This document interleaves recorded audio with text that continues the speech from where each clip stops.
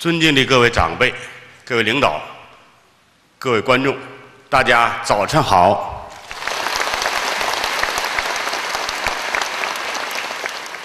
非常感恩呐，主办方、承办方，还有各位义工老师们，给我这次提供上台反省和忏悔的机会。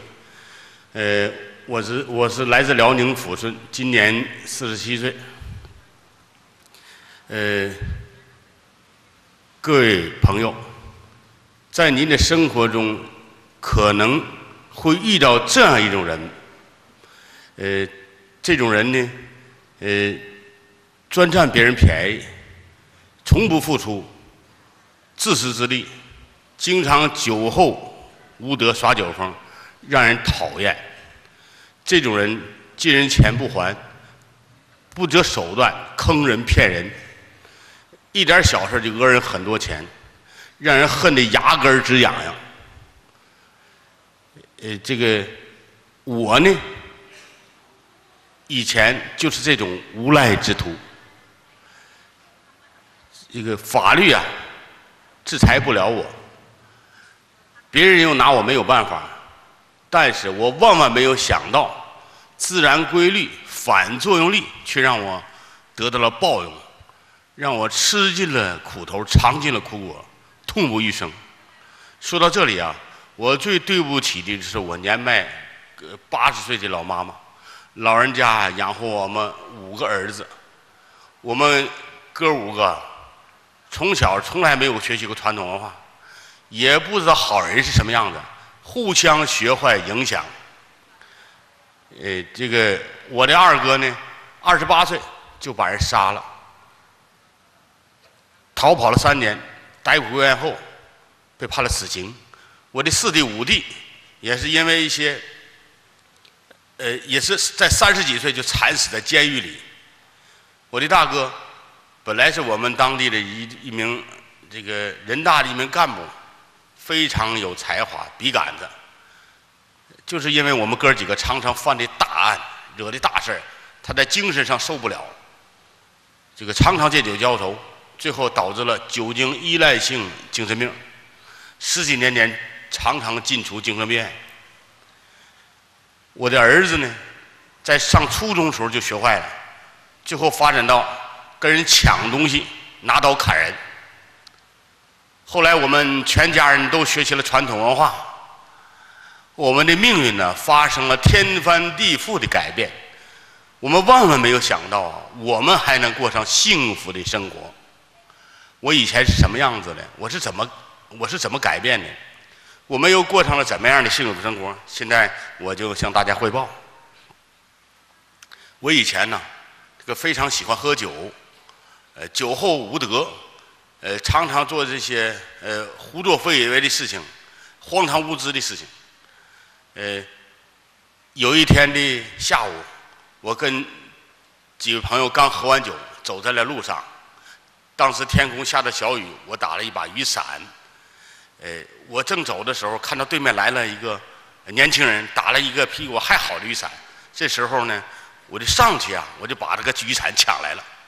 哎，抢来之后呢，我就把我这个旧雨伞扔给他了。他还没有反应过来，我就走了。又走不远，又看到一对年轻的夫妇，哎，他们打了一把比我这手里还好的雨伞。我上去，我就上那那个男士手中抢那把雨伞，他不给我，我三拳两脚，那个男的噌就跑了，把雨伞扔给我就跑了，呃，媳妇儿也不管了，这个我又把这个旧旧雨伞扔给那个他媳妇儿了，我仍然往前走，又看到一位打一个雨伞的人，我仍然是如法炮制，我把这个雨伞抢到手，我把旧伞扔给他，呃，我在走到不到一公里的距离，呃，我总共抢了。六把雨伞，最后到我手里的还是一把破雨伞。呃，这个事情啊，呃，现在想想啊，大家想想，如果被抢、被打的是我们各位的本人或者亲属，大家一定会有呃会恨我，呃害怕或者肯定骂我。哎，这个。你想想，一个醉鬼，哎，遇到这样一个人抢你雨伞，哎，这个打你，你能不恨他吗？骂他吗？而而这种骂恨，就是一个作用力，一个种子，将来肯定会得到恶的报应。我就是这样，哎，因为当时也不明白。这个《弟子规》中说呀：“年方少，勿饮酒，饮酒醉，最为丑。”就是说，你年龄小，德行没有建立，不要喝酒。喝酒都喝多了，丑态百出，会伤害自己，伤害别人，惹祸上身。而我全然不知道。所以说，《弟子规》当中的一句话呀，你做到了，就会避免灾难。哎，后来呢，因为我这样事儿让人讨厌事情常做，哎，让人害怕惊恐的事儿常做，哎，最后呢，我也无缘无故的常常害怕，哎，惊恐，心里老像要有事儿出现，要发生什么事儿似的。有有句古话讲啊，不做亏心事，不怕鬼叫门。哎，做了我呢，做了亏心事，还怕人敲门。这一年的夏天，哎，我就得到了，因为这个以前做这些恶事嘛，就得到了这样的一个报应。这一年夏天，早上五点多钟，我正在家里睡觉，哎，因为俺家住三楼，我突然听到一阵急促的敲门声，我当时我就害怕了，惊惊恐不安。我说完了，又是公安局来抓我来了。这时候，我不容分说呀，我没从没用上一分钟，我就把衣服和鞋穿上了。我顺着俺那三楼我就跳下去了，跳下来之后我就打个出租车跑了。一会儿我就我想啊，我得问呢怎么回事啊？这时候我就打电话告我的朋友，我说赶紧上俺家看看，是哪公安局来抓我来了？这个没有过上半个小时啊，他给我回信了，告诉我原来呀是街道收卫生费的。这个各位朋友。现在想想看，这个如果我是一个正常的人，我绝对不会这个啥也不顾，呃，从三楼上就无缘无故跳下去。哎，因为我当时心里有鬼呀，就是你给我多少钱呢，我都不会跳。为什么呢？大家想啊，如果从那三楼跳上去，第一可能被摔伤，也可能被摔残，再也可能被摔死啊，都没准啊。但是当时我就害怕呀，惊恐啊。所以说我顾不了那么些，只想着害怕，哎，跳下去了，跑了。所以说啊，这个有人问那那又能怎么样呢？大家想啊，一个人天天害怕是一种最痛苦的事儿，真的睡觉都不安稳，就是因为我常常啊就做这样事儿，让人害怕，让人惊恐。所以说这个想到啊学《弟子规》的感触就是。弟子规一句话做不到，就会让人让你吃尽苦头。后来呢，这个我又有一件事儿，因为不懂得道德，所以说常犯这些恶事儿。嗯，以前呢，我这人那个专占别人便宜，哎，谁都不放过，哎，任何机会也不错过。有一回，我到这个外地去进货。当时我在做生意，进货，看着了一位朋友。这位朋友呢，这个对我非常信任。他说呀：“他说我我有点事托你，我有一批货，有一包货，你给我拿回家，带给我媳妇我媳妇正等着卖呢。”我寻思，我好，我我知道他很着急，我说好，我一定给你带回去。我真给他带回去了，带回来就让我低价给卖了。卖成换成钱之后揣进我自己腰包，后来他媳妇儿啊找我好多次，我就不承认，哎，而他呢，这个找我好几次没承认，不承认。后来呢，我这个朋友也回来了找我，我听说找我，我就躲了。后来他找不着我，也不了了之了。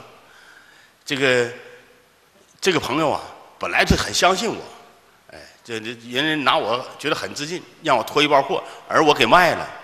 这是一种什么行为呢？无赖，一种偷盗。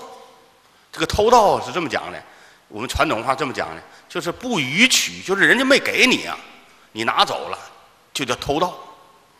哎，这个比方说我们在企业、在单位，不论是你私人的、公家的，拿过来一张纸、一支笔，如果没有跟领导说，那么你拿走了，这就属于偷盗。在我们传统文化里。这个偷盗是一种作用力，一种果实，一种一一个种子，它的果实，它的反作用力是什么呢？是贫穷和下贱。所以说，我那个时候常做这样事儿，这个无赖之事，所以说得到了很多的这个，呃，常常想贪人心、占人便宜心，哎，这个而且做了很多，哎，而且呢，这样的一个个种子种下去了，我就会我又得了很多的这样反作用力，这样果实，哎，这个后来啊，我开公司，我开公司的时候，那时候。效益很不好，大家想啊，以前呢，坑人骗人占人便宜，我能好吗？种了那个贫穷下贱的呃种子，我应该是得得果了，效益非常不好，非常艰难企业，常常工人开不起来工资，哎，最可恨的是呢什么呢？哎，常常被盗被偷。你看我这么穷，还有人偷我。有一次，这个公司被盗，哎，我看丢什么玩意儿呢？啥也没丢。只把我两双旧鞋偷走了，我想这个这个盗贼还得骂我呢。他本来想发点财，没成想最后偷偷了两双鞋还是旧的。还有一次，有位盗贼也更有意思，呃，他偷了我多钱呢？只我当时卷柜里就有十几块钱，让他给我偷跑了。偷跑了呢，后来我一看呢，我这个桌子上很多的办公用品全扒拉地下来了。我想这人肯定生气了。为什么生气？他他赔了，他怎么赔了呢？大家想想啊，他肯定要准备一把大钳子夹我那个那个门的链锁，这才得几十块钱。另外来回打出租车也得几十块钱，而他偷了我仅仅十几块钱，他不赔了吗？所以他要骂我，他肯定还得骂我说这个穷鬼啊，比我小偷还穷，我还有几十块钱呢，他就几十几块钱，你看看，你说我冤枉不？我被人偷了还人骂一顿。最让我难以忍受的是，在一个大雪纷飞的夜晚呢，我借钱买了一台这个运输车，哎，让人残酷的给我偷跑了。那个当时啊，这个屋里还有两个值班的，哎，这两位偷跑了，而且我借钱买的，后来人家很多人，人家人家这个管我要钱呢，要了我两年呢，才我才还上人家。企业效益不好，又被偷又被盗，这是雪上加霜。我当时真是太难受了，我觉得人生啊，这个这个，这个到这种地步啊，而且呢，我当时都就管我叫总经理，总经理呢兜里常没钱，兜里常常几块钱，几毛钱，甚至有时候兜比脸都干净，哎，这个非常穷，有时候一有钱呢，就是执法部门来给我发走了。当时真的，这个后来学习传统话知道了，这都是我当初种的。就是偷盗、贪占别人的种子得的结果。所以说，各位观众、电视机前这个朋友们，如果跟我有一样经历的人，大家一定要反省，一定是我们以前呢做了这些呃这个不好的事情，坑人骗人的事儿，一定要反省。反省了怎么办呢？一定改变，哎，做好人，做正常的生意，那么我们的命运呢就会改变了。这个。后来啊，就因为呢，我们没学习传统文化，这个没有不懂得做人，不懂好坏对错，美丑，也又做了一些很多恶事。比方说，呃，这个卖假货骗人、坑人。另外呢，这个，呃，有一次我这个走在马路上，一个车，呃，刮了我一下，碰我一下腿，我当时我就说很重，讹了人很多钱，这都是我干的事，无赖之徒啊。哎，后来呢，就是也有时候就跟跟人家喝酒，有一回也拿菜刀给人口那砍，这都是常发生，整个让一个无赖。这个说实在话，我们五轮当中啊，这个呃朋友有信。刚才说我这个我这个朋友，我给人骗了，哎，这事儿没少干呢都是。今天时间紧，我也是个没有时间讲那么多。哎没少干，这五轮当中是朋友有信，我呢对朋友没有信，我坑着朋友，坑坑朋友，害朋友，骗朋友，所以最是损德。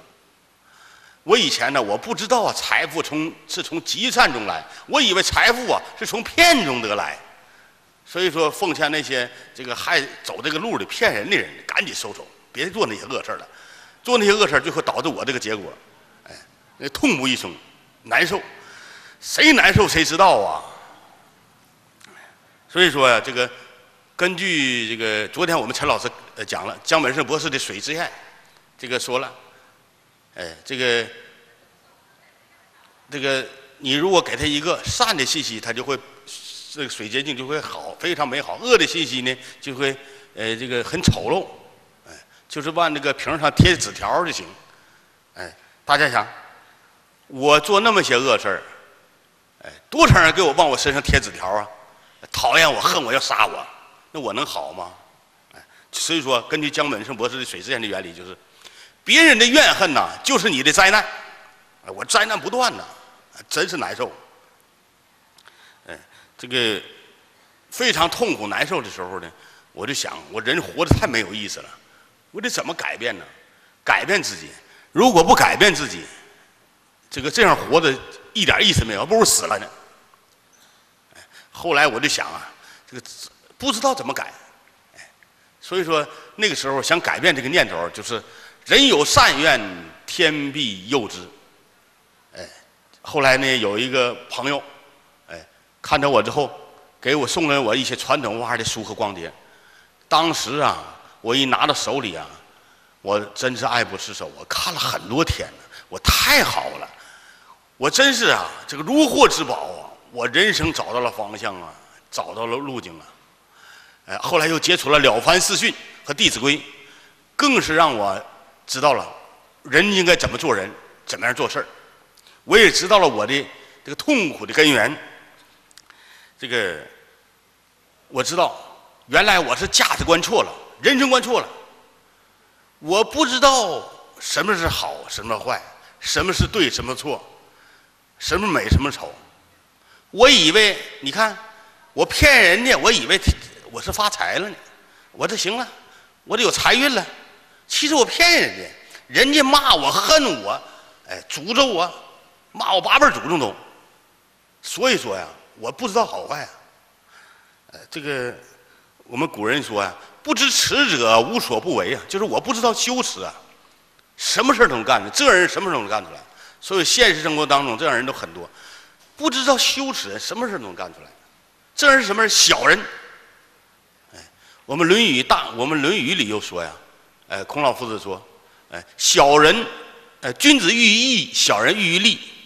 君子就是说什么？君子人呐，做事情首先考虑的有没有符符不符合道义和仁义。小人考虑的是符，呃，他自己有没有有利益。君子人是什么人？就仁慈的人，一个正人君子。小人是什么人？就是心眼小的人，自私自利人。我何止是小人呢？我就是恶人，无赖之徒。呃，有人说那小人又怎么样呢？古人又说，小人常进祸，就常有灾祸。我就是伴有灾祸，这个灾祸把我遭罪遭的，这个这些年呢，我痛不欲生啊。呃，如果没有学习传统文化，我就完了，我就不能活了。而且我知道，我最大的就是我不孝，我不孝。《百孝篇》里讲了：“诸事不顺因不孝。”《弟子规》又说：“身有伤贻亲忧，德有伤贻亲羞。”就是说，你的身体啊，保护不好。比如说，我常常喝酒，常常跟人打架，我受伤了，或把人打伤了，人家父母难受，我的父母也担心。哎，常常喝多呢，伤害身体啊，父母非常的着急，担心，这就不孝。还有德有伤贻亲羞，就是我的德行啊！我常常坑人、害人、骗人，做无赖的事儿，哎，骗朋友，所以说这就不孝啊！让我的祖宗蒙羞，让我的父母在人面前抬不起头来呀！各位，所以说啊，人多少人骂我呀？骂我是骂我自己吗？骂我八辈祖宗，骂我的一家人，所以说骂我骂我怎么办呢？就等于啊，这昨天江本胜，昨天陈老师讲江本胜博士水实验，就是，也等于那些人呢骂我那些人，往我们家里这个父母祖宗身上贴纸条啊。所以说你要做了坏事一定是什么呢？就等于什么呢？你请了很多人骂你的祖宗，指着鼻子骂你祖宗，骂你的父母，骂你全家。所以说我们自己千万不要做恶事啊！做恶事的人呐，坏事人呐，哎，常常的他家人也不好。就因为他牵连的，被人骂吗？哎，所以说这个千万不能作恶，作恶这个可了不得。这个我明白了这个道理，我就去做。首先呢，我知道我不孝，所以说那阵儿我知道了，我母亲和我姥在一起生活，我姥当时九十多岁了，我母亲照顾我姥爷挺费劲。这时候呢，我就知道，哎，我学《弟子规》了，知道，父母呼应勿缓，就是父母啊的呼唤，父母的需要就是在呼唤我们。那阵儿我就知道，呃，我应该替我母亲分担这个责任。因为我母亲身体也挺，身体也不好，也不也年龄很大了，身体也不是很好，我就毅然决然的把我姥姥接到我家里，我雇个保姆，整整伺候了三年呢，天天干干净净，一点褥疮没有，在九十七岁高龄的时候，睡梦当中离开了我们。这件事儿啊，谢谢。这件事儿啊，我就呃既替我的。母亲尽了孝心，又报答了我姥姥从小抚养我们之恩呐，所以我母亲也非常高兴。哎，另外呢，因为我以前呢对朋友啊这个无信，坑害朋友，哎骗朋友。现在呢学了传统话之后，我知道了，我对朋友啊，就是事事啊，我就按照《弟子规》当中一句话去做，就说，呃，予多取少，就是说我给出的越多。索取的非常少，甚至我就不索取。我知道啊，朋友当中，人生的朋友是人生当中最重要的，五伦当中非常重要。在家靠父母，出外靠朋友啊，哎，所以说以前我路越走越窄，没有朋友吗？现在呢，我知道怎么交朋友，对朋友非常的这个有爱，而且什么事儿只要有我在，花钱的事儿我绝对我不让朋友花，而而且我更知道，最好的利益朋友就是我让他们学习传统文化。所以说啊，我现在我周围的人几乎都是学习传统文化的人。这个恶人以前我交那些朋友全是恶人，恶人在一起呀，这个互相感召啊，哎，在一起，恶人在一起干什么呢？就是互相拆台，互相拆台，互相骗。这些学习传统文化这些好人在一起，互相帮忙，互相提携，互相进步，所以多好啊！哎，而且呢，我的因为这个做一些善事吧。这个大小善都做，大到救人性命，小到就是走马路看到一个推带车的上不去，我也帮他推。哎，这个有盲人过马路，呃，我不太方便，我也帮人过，我也领他过去。另外呢，我到商场，这个有那个商场门口大门帘子，我们北方有塑料的，冬天冻得很硬，我以前就出出进进一扔后边，不知道不一定砸谁脸上碰人身上，挺疼。我知道之后，我学传统话之后，我说这小事也得做，不以小善而不为，不以不以小恶而为之。所以说，我就进商场，每次都是把那个门帘轻轻放下，后边没有人我才放下，我才走。哎，所以说这个这个善呐，呃，自然而然的从我心底里做出来了。天天想，天天做。而且呢，我知道做善事最好的是帮人一个。哎，不懂得做善的人，不懂得孝敬人，帮他转变观念，哎，这个这是最大的善。呃，就在我们去年九月份和今年五月份的时候，我们家乡抚顺举行了为期两次三场的论坛。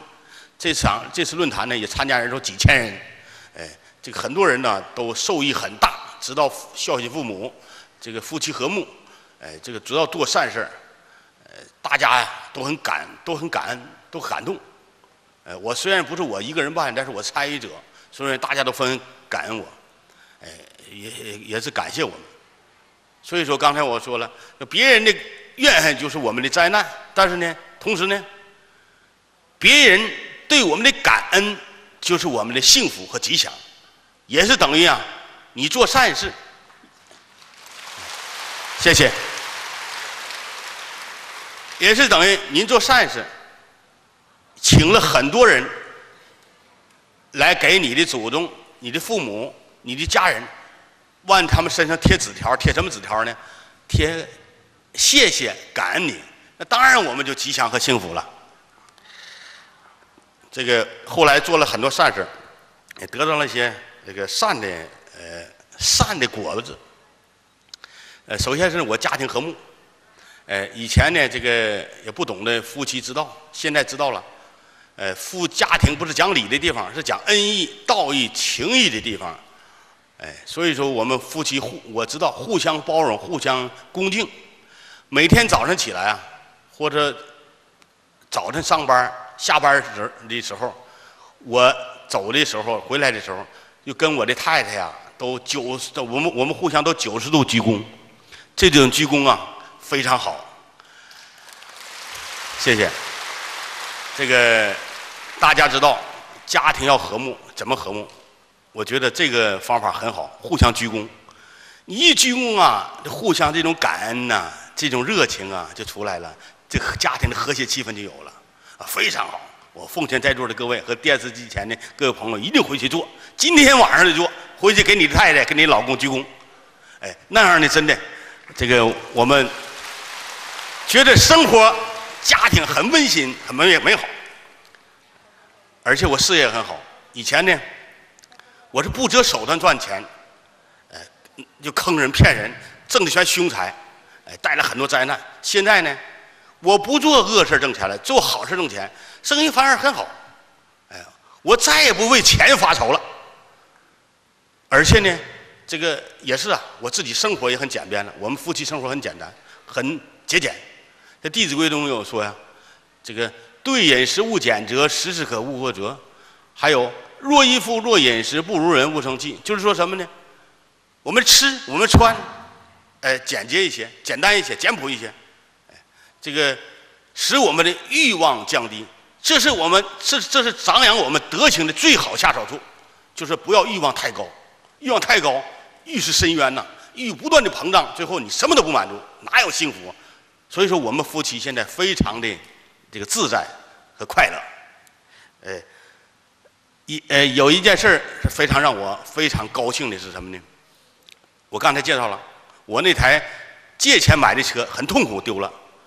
就在我跟着我们这个论坛做汇报五六场的时候，突然我接到这个电话，呃，这个是某某公安局的，说你是康康金胜吗？我说是啊。你是不是丢一台车？我说是啊，找着了。哎呀，我说这个真好啊！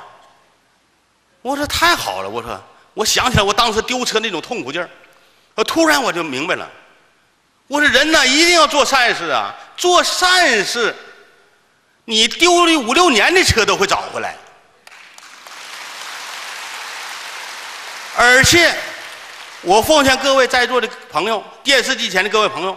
如果你丢了宝贵的东西，你一定要做善事。做善事，那个宝贵的东西肯定找回来，一定的。哎，所以说这是我的人生经历啊，我分享给大家。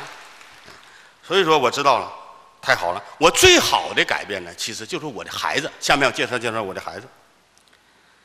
这个我的孩子啊，从小在我奶我我我的母亲身边长大。他呀，因为，哎，这个我不会做人呢，我也不懂得教育孩子。他也做的学的不好，哎，也不会做人，所以到了初中的时候啊，就学坏了，学坏了。头开始呢，上网，哎，愿意上网打玩游戏，玩游戏搁家不行，上网吧。网吧后来就是，呃，这个又逃球，又逃学，最后呢，又抽烟喝酒，搞对象，哎，还进而呢，这个，脑袋整的像红头发，像小流氓一样。有一次，他那个同学，呃，会他去。跟人家抢一个 M P 三，犯案了，让公安局逮去了。那个同学呢，一下子扔到看守所那是他第二次犯案，给我那孩子弄关公安局一调查呢，知道他没当时没吱声，给弄个站脚助威，那个处罚了。我寻思这个事儿之后就能哎完事儿了呗，他没有什么这个害怕了。没成想过两天又出事儿，什么事儿了？他一帮小朋友在饭店吃饭，这个。有一有一另一拨人来了，打他们当中一个，这个孩子急了，呃，就去拉架，拉架拉架没那个人家没听他的拉呀，也不给面子，给他也打了，他急眼了，跑厨房去，立马菜刀就给这帮人好顿给砍。我一听，这不学我了吗？哎，这个砍的这些人跑的，跑了还砍呢。我听说之后，我说完了，这孩子。我这不这个又要出大事啊！我赶紧到我妈那里把孩子接回来。我得了，我坚决啊！我说，你不能搁这待着，哎，所以说啊，这个孩子学坏啊，对我们与我们家长太有关系了。因为我从小我不会做人，所以孩子也没有，我没给没有给他做个好的榜样，学坏了。哎，这个怎么办呢？孩子学坏了，我得救他呀！我想。我什么不干，我也得救他。孩子不好，你的一生能好吗？不能好，我们大人不能好。所以说，我救他。我想怎么救呢？只有学习传统文化，《弟子规》是唯一出路，没有别的出路。所以说，我就给他找地方学《弟子规》，学传统文化。哎，谢谢。当时啊，我也知道我对他有影响啊，因为我我把我这家的电视和和那个电脑全关闭，我也不看。天天放传统化的光碟，而且我行走坐卧，我对我的父母也好，对长辈也好，非常恭敬。他自然而然的受到了一些呃那个呃受这些熏陶。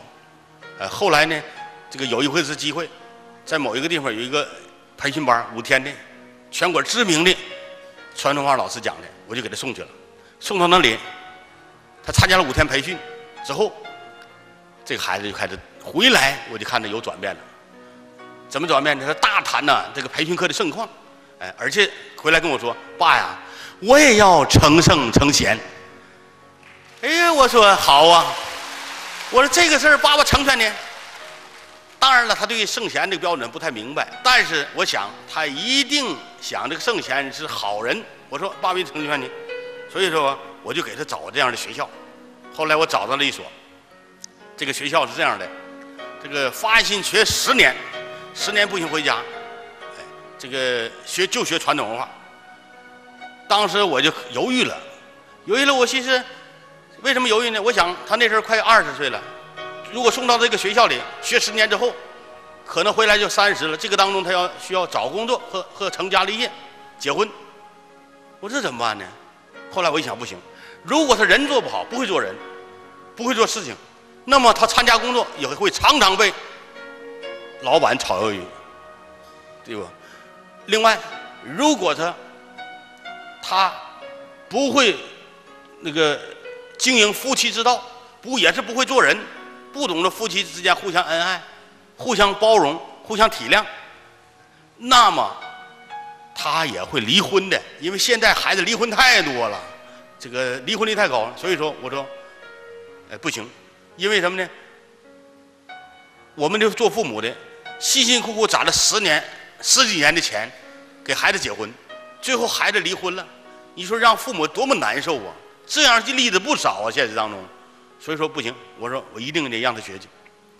最后我给他送到这样的学校，这孩子啊，学习了一年之后，就有了天翻地覆的改变。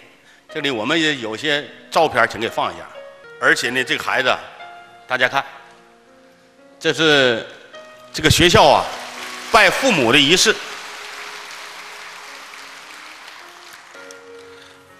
拜父母的仪式，这个隆重啊而庄严呐，那个真是让这个孩子感觉到了，呃，当时体会到父母养育之恩，哎，这个大家看照片。这孩子呢，一年以后呢，又给我给我邮了一封这个向我呃汇报的学习生活一封信。我在这里截取片段给大家念一下。呃，大家边看照片我边念信。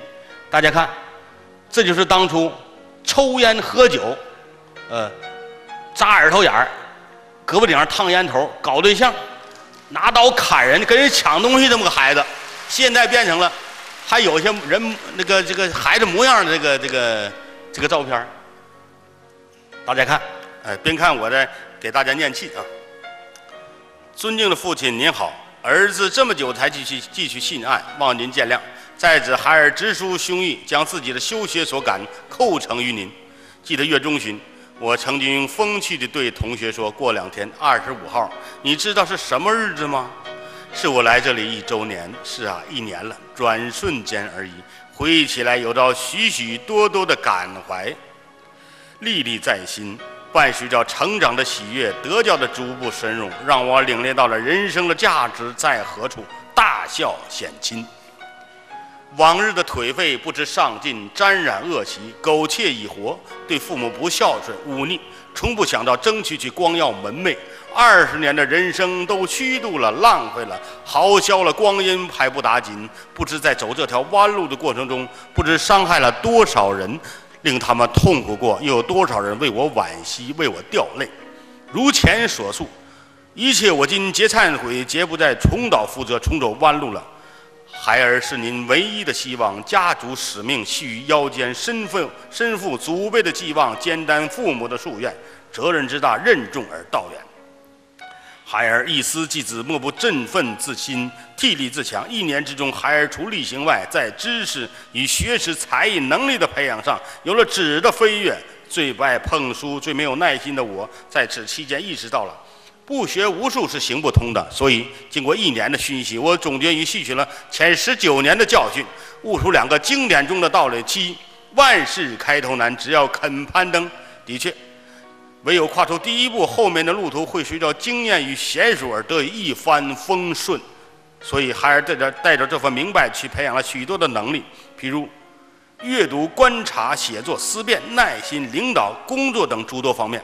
此外，我在自己方面的提升尤为突出。这个我在这里插一句啊，孩子以前写字啊，就像苍蝇踩瘪了那么难看。下面给找那个，哎，这是孩子现在写的字。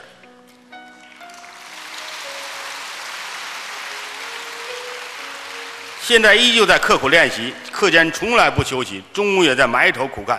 结果无心插柳，没想到这样的态度使我在耐心、观察、专注等能力上有了前所未有的成效。下面就是孩儿的基本功，而发心将要练习四十一万笔画，以砥砺自己，近两万两千个。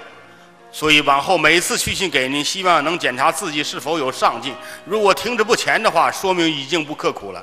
其二，知行并进，孩儿在学习与力行的过程中，完全体会到了好学的重要性。呃，不力好学的重要性，不力行是行不通的。同样，不读书亦不可行。自古以来，圣贤无不以好学发奋为天下人的楷模。孔子之韦编三绝，董仲舒三年不识孙元之草，苏秦头悬梁锥刺股，诸此类。真的令孩儿汗然。彼何以百事可施？我何以一身瓦砾？相信古人可以，我也可以。正所谓不让古人视为有志，而非天资聪颖。但相信凭借着天行健，君子以不自强不息的精神，定能会当克果，精进不止，而有为之指日可待。谢谢。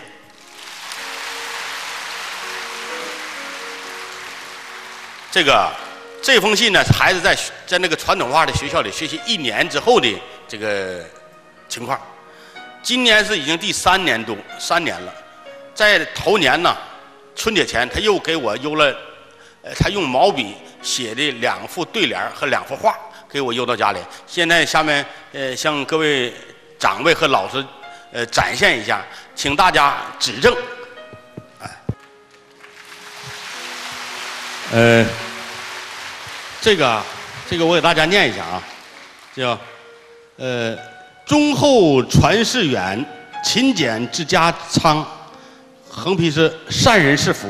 这个是他横批是他自己加的，这两个是以前的，这搁哪儿截取的？这个是有容德乃大，无私心自安。这横批是孝子之志。这个是竹子，竹子大概大家都知道，这是君子，君子吧。有节气，哎，谢谢。呃，这个是这个，这是那个叫代表是夫妻夫妻和睦。哎，在这里啊，给大家展现呢，不是炫耀孩子的成绩，而是说呀，他通过学习传统文化之后，呃，这个以前呢是一个顽劣，这个我这个什么都不知道的孩子，现在通过传统文化的学习，知道了。呃，在才艺上有所提高，因为他知道亲所好，力为具；亲所恶，谨为去。我希望他的字，他的才艺有所提高，他就提高了。呃，在这里，我听说，我因为我不是不懂书法，据说这是这是流体，他是总共练了半年，三个月练的笔画，三个月练的书法。哎，这里呀，在这里肯定是写的不是很好，但是是他的成绩，所以给大家呃展现一下，以证明什么呢？就我们学习传统文化的孩子，哎，无论以前怎么不好，通过学习，他肯定有所提高。好，谢谢各位老师啊。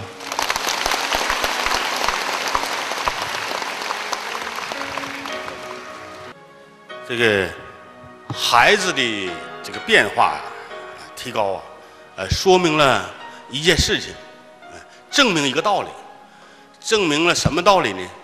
说就是我们陈老师昨天讲的《三字经》里一句话，就是“人之初，性本善”呐，本性本善。说什么呢？就是任何一个孩子，任何一个人呐，通过学习传统文化。学习我们老祖宗教诲《弟子规》，就会得到改变。所以说呢，呃，这个道理啊，呃，这个我们老祖宗讲就是真理。通过我们的孩子学习，就验证了。啊，他以前那样，呃，学的那么坏，哎，那么拙。后来呢，经过只经过一年两年的学习，一年的学习就改变了。什么原因呢？就是我们这个人孩子们呢，这个。他都可以教的好人，就是一个道理，都是任何人呐，都可以教的好人。就是我们希望我们在座的各位观众，以及电视机前所有朋友，以及天下所有做父母的，你们的孩子如果呃学的不好或者不听话，一定要不要丧失信心，有信心，他们只要能够学习圣贤的教诲，一定能够会学好的，能会做好人的。谢谢。呃，我想说说我今后的人生目标，因为啊，这个我学习《弟子规》，学习传统文化得了益处，得到了幸福和快乐，所以说呢，我要今后的人生就是推广传统文化《弟子规》，使更多的人得到快乐和幸福。另外呢，因为我们的祖国是伟大的母亲，大家知道。我们的祖国，我的母亲已经不缺钱了，但是她缺什么呢？她希望我们做儿女的幸福，希望我们做儿女的和睦，因为我们儿女不和睦，哎，常常冲突、矛盾、对立，有各种各样的呃那个斗争。现在呢，我作为学习传统文化的这个受益者，我要跟随我们这个汇报团，哎，做到底，做一生，使我们传统文化《弟子规》。老祖宗教诲，让世人都知道，都能受益，都去学习。好，这个我的汇报就完事了，呃，到此结束，谢谢大家。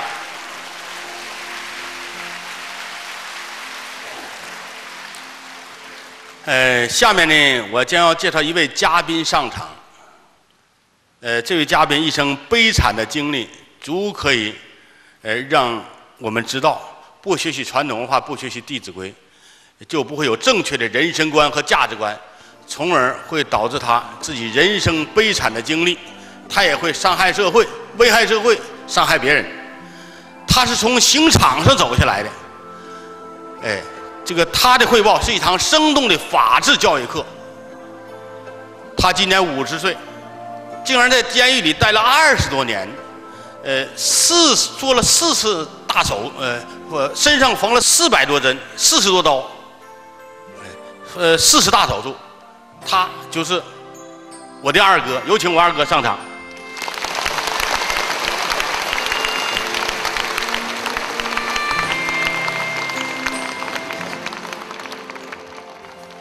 各位长辈、各位领导、各位老师，上午好。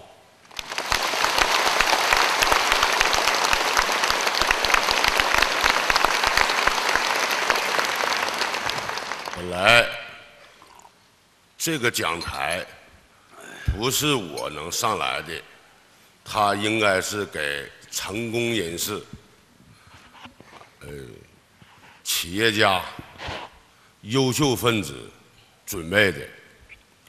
没有学习传统文化之前，如果我要上在这个讲台，一定是被押送上来，五花大绑。有公安战士啊，给我押送上来，嗯，因为我是那种啊涉黑嗯人员啊呃违法犯罪分子啊，我五十岁，但是我在监狱里面度过了二十年零六个月，曾因为。社会上的呃利益杀死过人，也被这个呃伤害过四十余次伤疤，啊，缝合了三百余针。我的曾经的兄弟，呃，被被人民政府。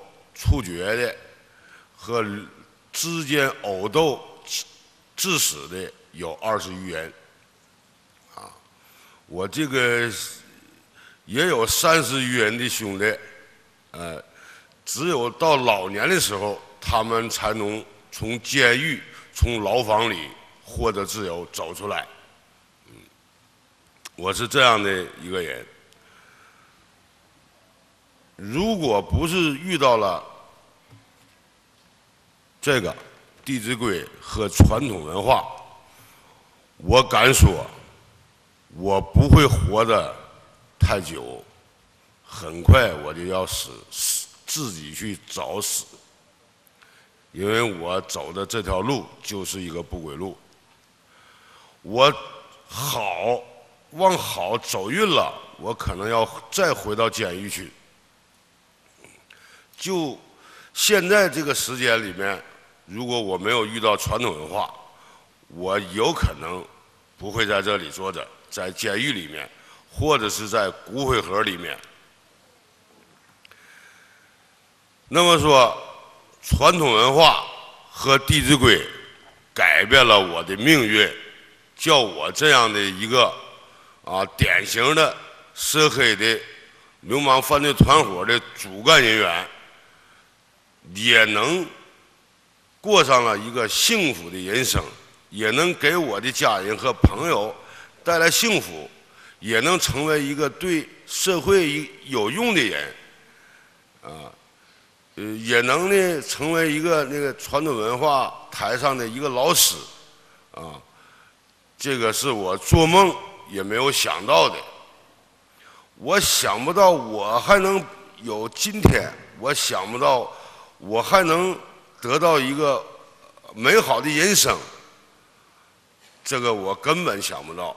嗯，所以说，呃，我呢，从由衷的呢，这个体会到了传统文化和《弟子规》的魅力，啊，确确实实救了我的命，也救也救了我们全家人的命，啊，也。叫我过上了一个幸福美好的人生，啊！我在没有学习传统文化之前，我生于六十年代，啊，这个受教育于七十年代，呃，那个时候呢，呃，我不可能接触到《弟子规》，也不可能接触到传统文化，啊，呃，听说。孔孟思想是糟粕、糟粕，啊，是不好的东西。那么，什么是好的东西？在我的呃幼小心灵当中，我认为我感觉到打架啊，不听老师的话，这个是呃好事儿啊，因为种种原因啊。我这个纯善纯净的这种啊人性天性被污染了，啊，污染到什么程度了？把坏的视为好的，把好的视为坏的，是非颠倒。而且我形成了一种一种这个这个呃，虽然小，但是老师要是管我。我很讨厌，啊，而且我很我我挺恨他，我要报复他。我喜欢自由自在，无拘无束。就是教育我的时候，我抗拒，啊，变成了一个很有野孩子一样。那么时间长了，老师讨厌我，同学也讨厌我，啊，那么我呢，过着我自己愿意过的生活，那么我就离开了学校，走向了社会，接触了一些啊违法犯罪的人员。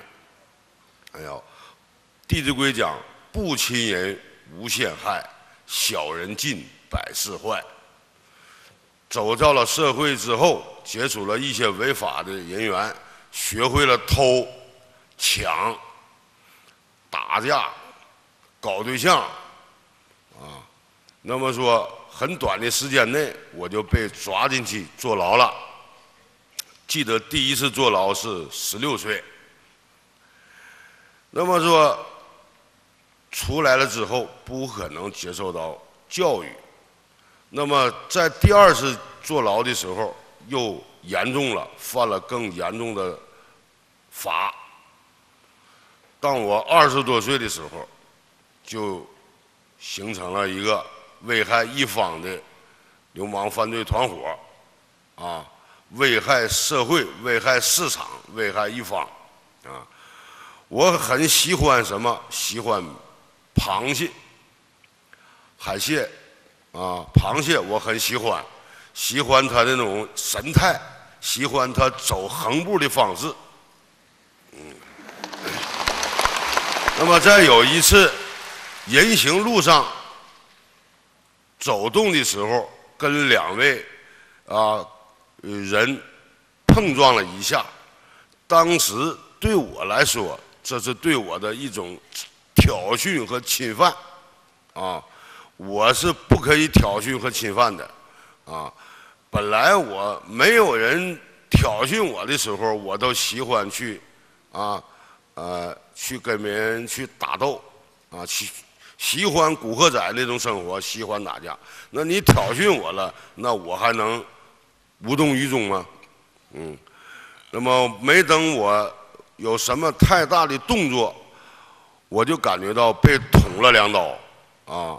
当我醒来的时候呢，已经躺在了手术台上，啊，这个肠子被啊刀扎折了，当时做的是开腹手术，我在想，啊，你动了我，如果我不跟你走两步。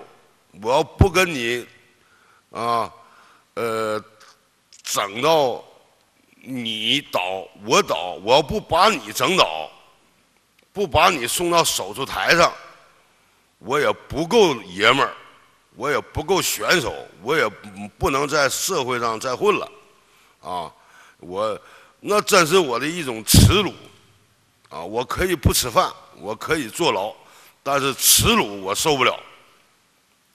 啊，所以说，我就组织了一些兄弟，凶器刀枪，在没过多久的时间，在我们市辽宁省抚顺市一个繁华的地段，我们遇上了，那就是仇人相见，分外眼红。那个时候没有什么仁爱之心，啊啊，那我就。上去就捅了他五刀，啊，他这个人已经倒在地上了，我已经走出去了，我又回头，我又捅了他两刀。我告诉他，我说你听着，等一会儿，你到手术台上到医院抢救你的时候，我还要捅你几刀，啊，那么说我就当时那种兽性啊，没有人性了。啊，就觉得，啊，这个用我们黑社会那套逻辑来啊完成这个事，没有过多久呢，人家告诉我了，说你不要去了，啊，人已经死了，嗯，当时我听到了死人了，也是很害怕，啊，因为虽然在我身边有啊。许许多多的被打死的或者打死人了，但是并没有引起我的注意，啊，呃，很麻木嘛，因为呃这个呃被呃刑事犯罪的人员往往是很麻木、很愚蠢，啊，觉得我呃这个不会摊到这样倒霉的事儿，啊，实际上这是很愚蠢的。常在河边走，哪有不湿鞋？你天天过这种打打杀杀的日子，一个是被人杀掉，一个是杀了人，这是很，这个就是想不到。那么说，当时我就选，呃，选择了啊跑路，逃跑，畏罪潜逃。嗯，当我离开我们生我养我的。那个故乡的时候，我回头看了一眼，这个家家园，我是否还能活着回来？因为经常有畏罪潜逃的人，被抓获的那一瞬间，因为抗拒反抗被击毙了。啊，我是否是那样一种结局？这个是未知数，也可能是，也可能不是，啊。那么说，如果是的话，那就是我瞅家乡的最后一眼，当时一种悲伤、想流泪的感觉油然而生，但是没有流泪，因为在走社会的时候，那个时候不会像现在一样老流泪的。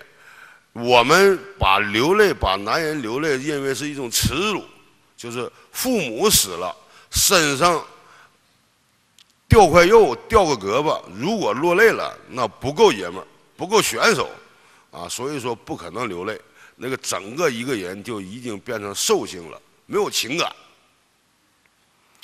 那么我就过上了这种畏罪潜逃的生活。畏罪潜逃当中逃亡啊，颠沛流离。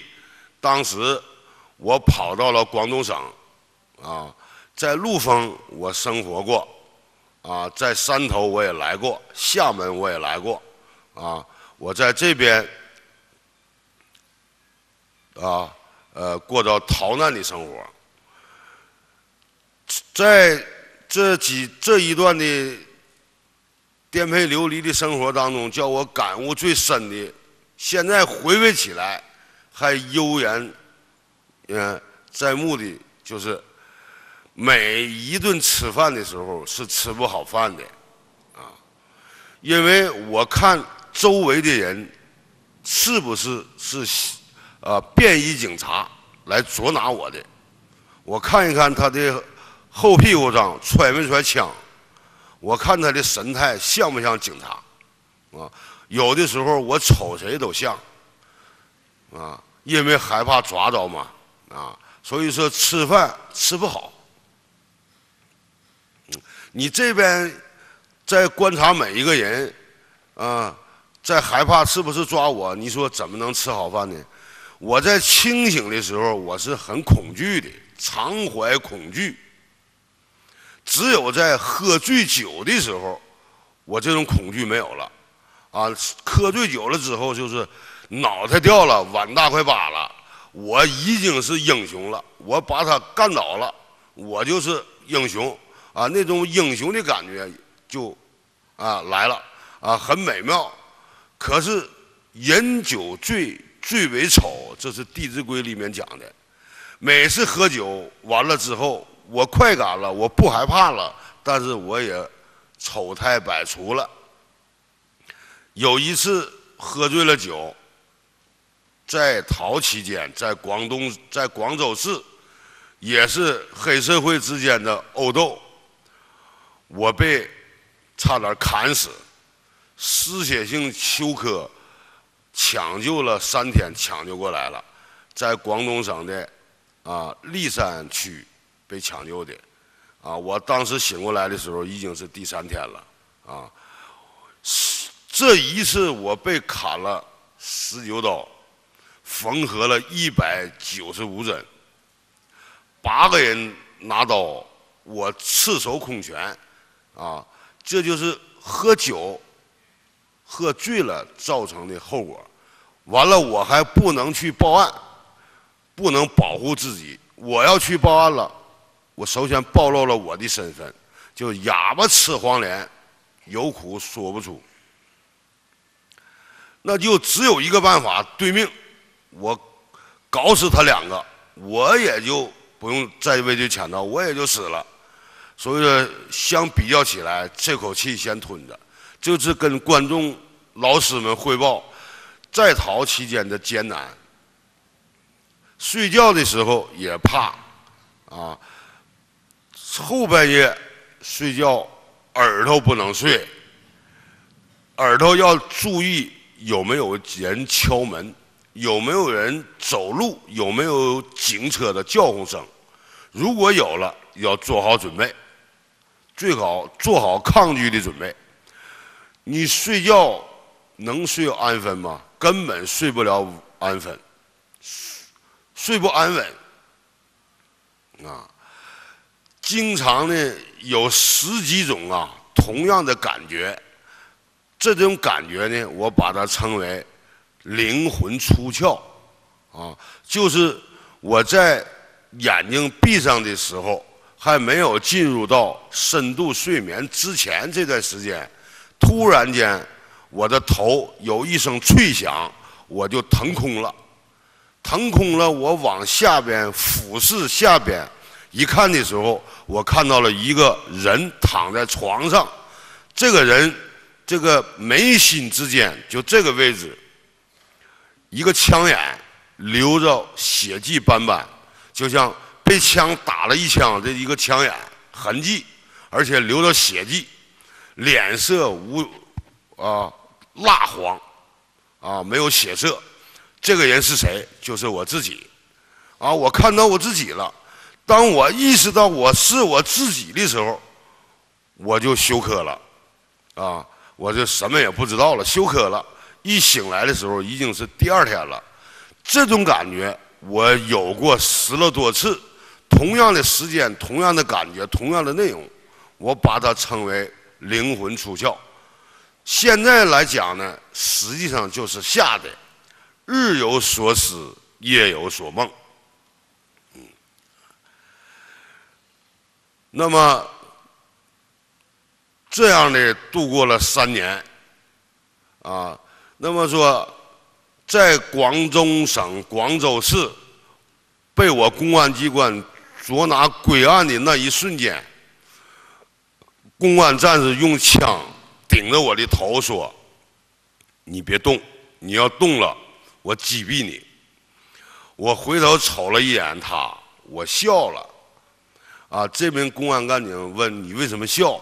平时在这个时候啊，我们抓到人，他要反抗，很紧张，你怎么反常笑呢？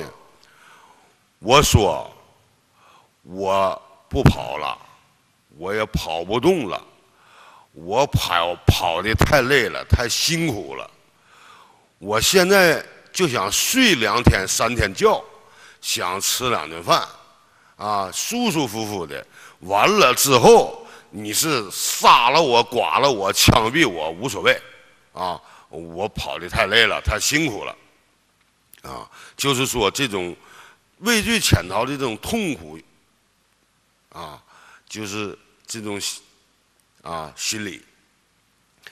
我被送到我们市的看守所那一瞬间，我的睡意就不想，就是想睡觉的这种。呃呃，感觉没有了，也不想吃饭了。为什么呢？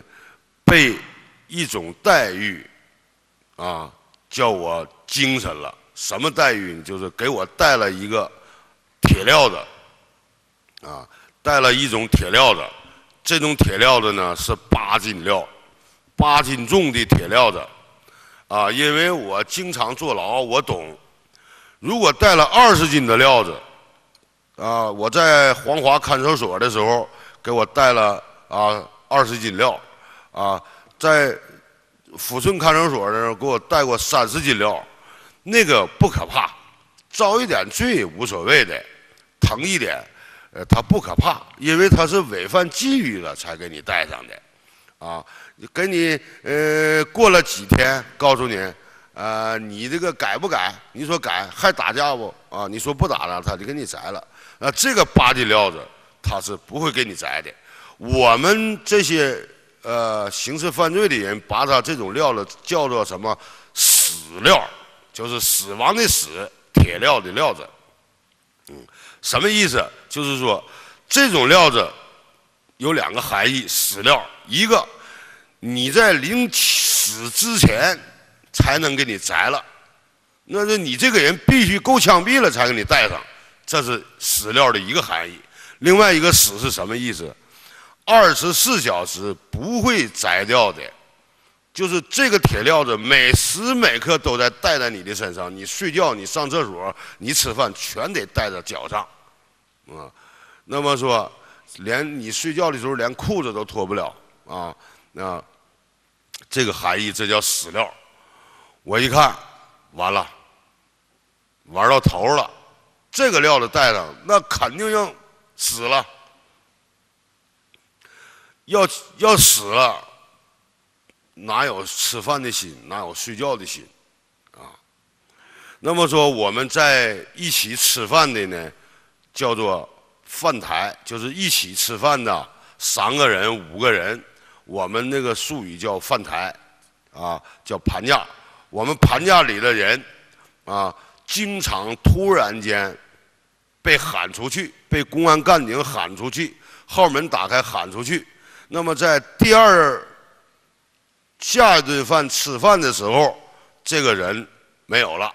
就是假如说我们五个人吃饭，那么他被喊出去了，啊，那么下一顿饭的时候就剩四个人了，啊，那么那一宿觉，这这个人也不会回来了。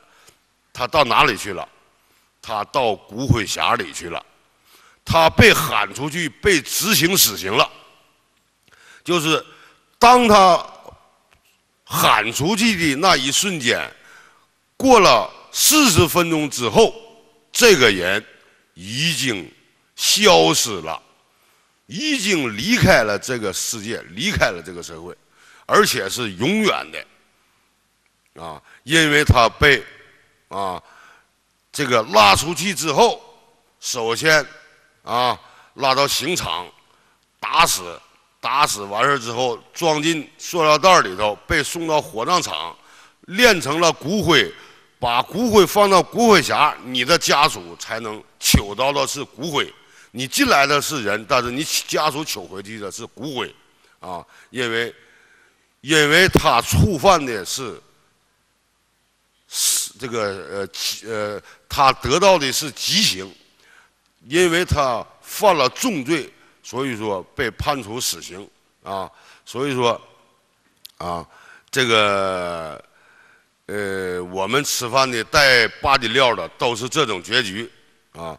根据物质不灭定律，这个人还在，只是从人变成了。骨灰和尘埃。那么说，看到了这些，那么我的命运是什么？就是等待判决。那么当时我的感觉就是，啊，有可能改判，啊，活下来，不判我死刑，但这种可能性不大，不大，我也抱着这种希望，嗯。那么没有过多久，我的判决下来了。我触犯了《中华人民共和国刑法》第一百三十二条，犯了故意杀人罪，判决是死刑。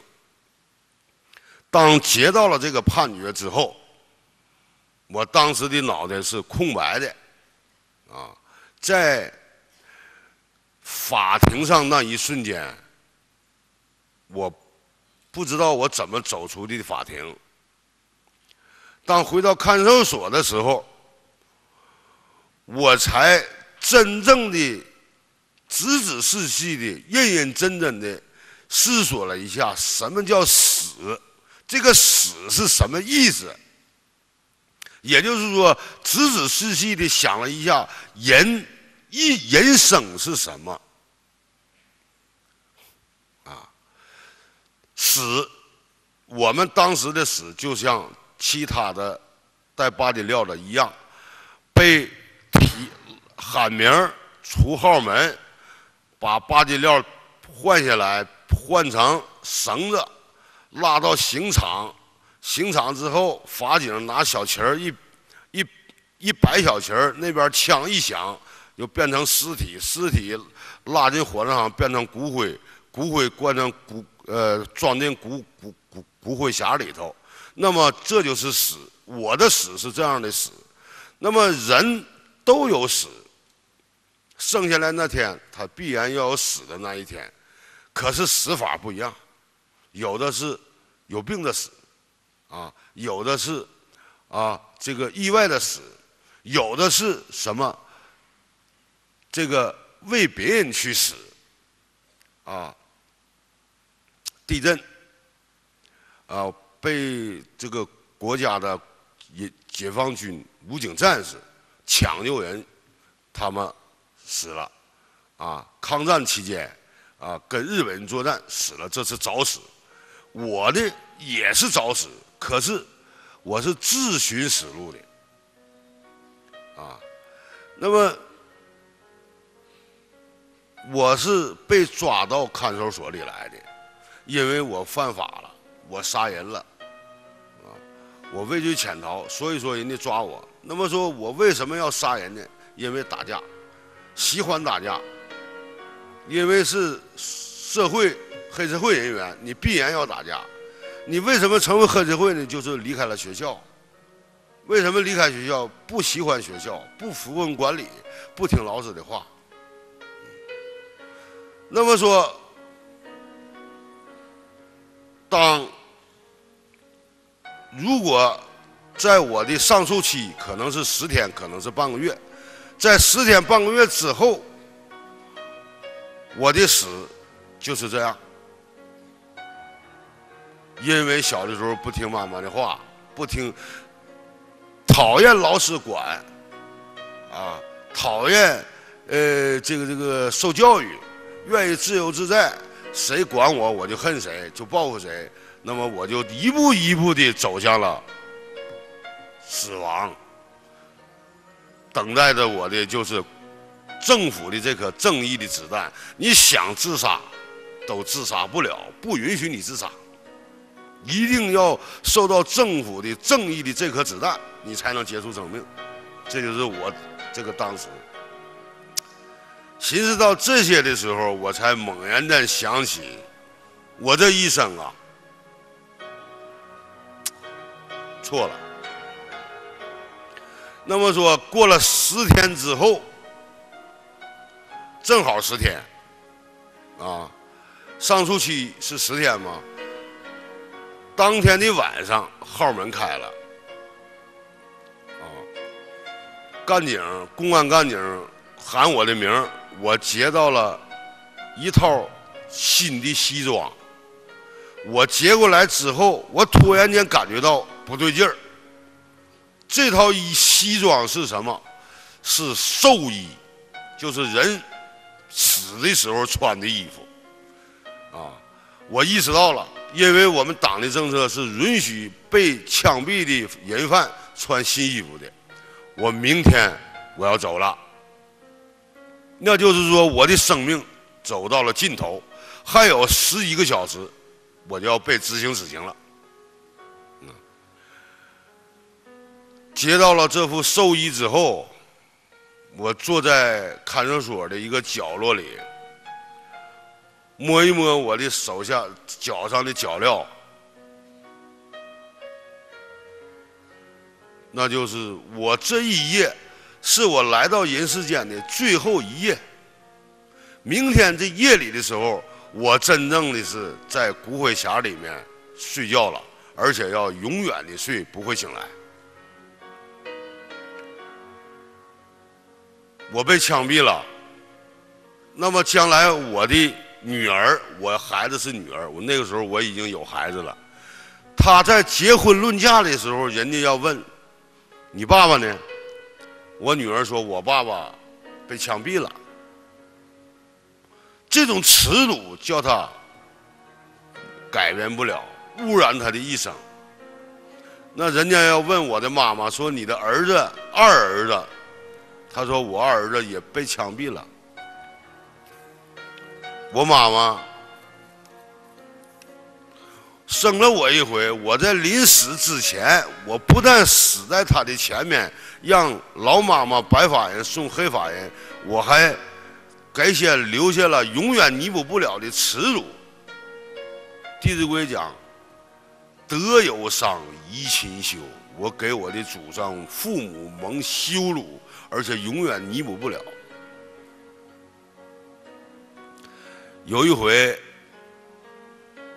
我孩子淘气，我打了他。我今天后悔了。如果我知道我有枪毙这么快，我就离开人世，我不打他。我孩子，我心狠还心狠不够呢。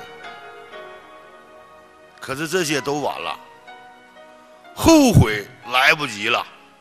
真是叫天天不应，叫地地不灵。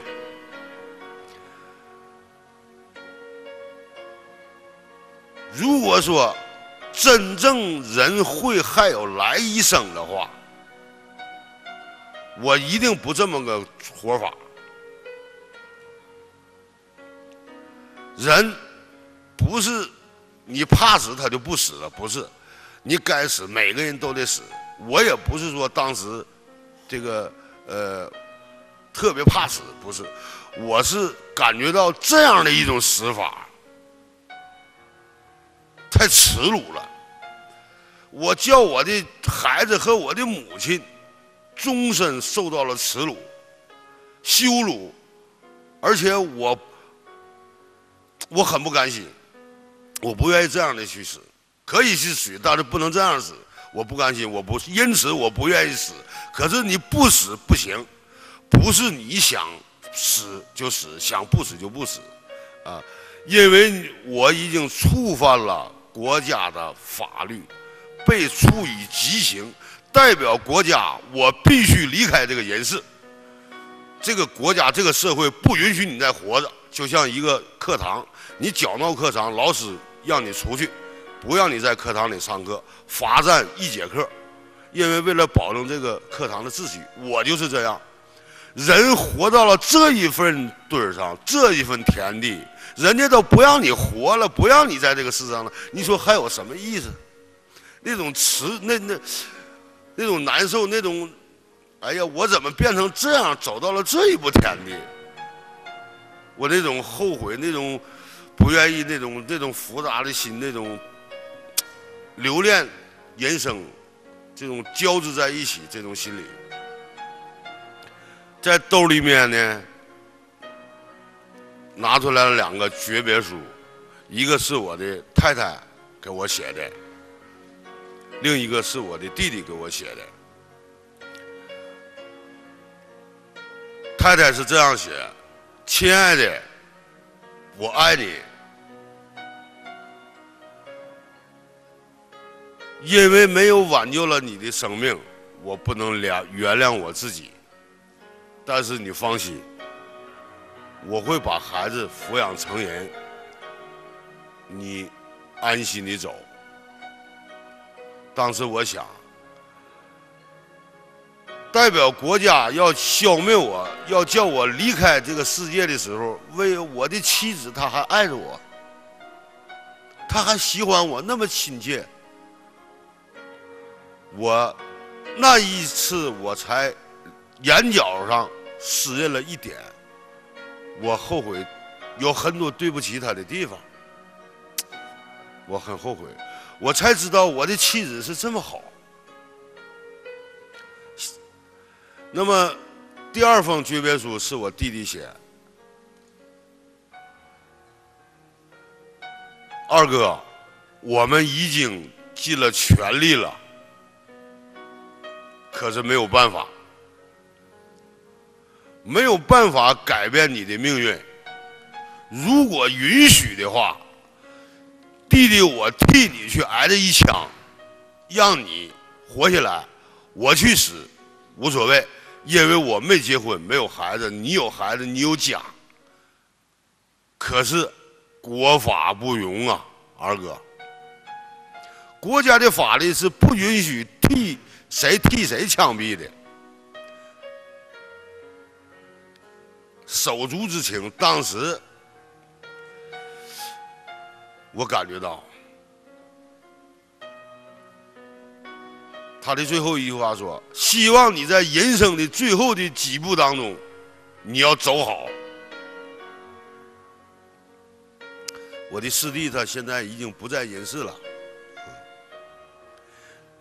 听到了这两个诀别书之后。我当时也算心里面落地了，落什么地了？我绝望了。他们告诉我什么？你二哥一定得死，一定被枪毙，是这个意思。那么说，那一夜啊。又过得很快，很快的时间，天就亮了。我在想，如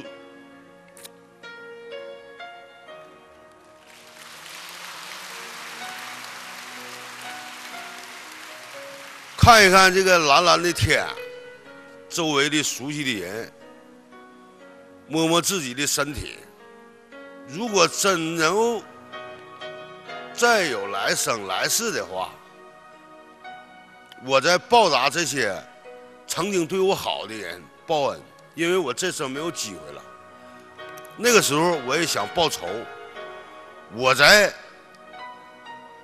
把你们这些害过我的人，我再跟你们再走两步。这辈子我没有机会了，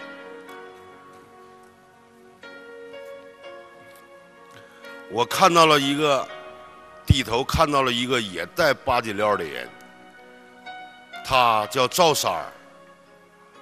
他的犯罪呢是给他的母亲啊用斧子砍死了，他的生母用斧子砍死了。啊，他在露出一种耻笑的表情，呃，意思说，你看你牛吧，你是大哥吧？哎，你得先枪毙，先死，我还多活两天。他是这种，我领会是这个。呃，从他的表情和神态当中，我领会是这层意思，啊，我当时就在想，我这辈子来的太憋屈了，太窝囊了，我都不如一个杀死他妈的，杀死他妈的都能多活两天我去先挨这一枪，我才二十多岁，我没有体会过什么人生，那我就那就想。没有完的时候，号门开了，门口呢有四位中级人民法院执行厅的行刑队，每一位都是白手套，这个封口系得很严，戴着墨镜，啊，那么身高的在一米八，我一看我明白，这个就是刽子手，就是对一些罪大恶极的啊。执行死刑的这些工作人员，那么说我们听说呢，号我们号里的要被枪毙四三名，其中有我一个。那么喊了第一位什么什么出去了，喊第二位什么什么人出去了，喊到第三位的时候，我又站起来了。他说：“你蹲下，那个死刑犯是不准轻易蹲。”轻易站起来的是得蹲着的，那么他就喊，他没有给我喊出去，给那个赵三喊走了。完了呢，就把号门关上了。关上了呢之后，他们已经走了，我就喊，我说：“哎，法警同志，啊，你回来。”那法警就回来了。我说：“听说有我一个要枪毙，怎么没有我？怎么给他是给是给拉出去了？啊？”当时呢，这个法警同志啊。人家瞅了我一眼，说：“你连死你也着急，你着急就是死呗。”我人家就走了，人家走了之后，过了一会儿啊，我才想起来，啊，我是确实，我海呢不就去找死的吗？现在我就明白了，那个就已经大脑空白了，吓的。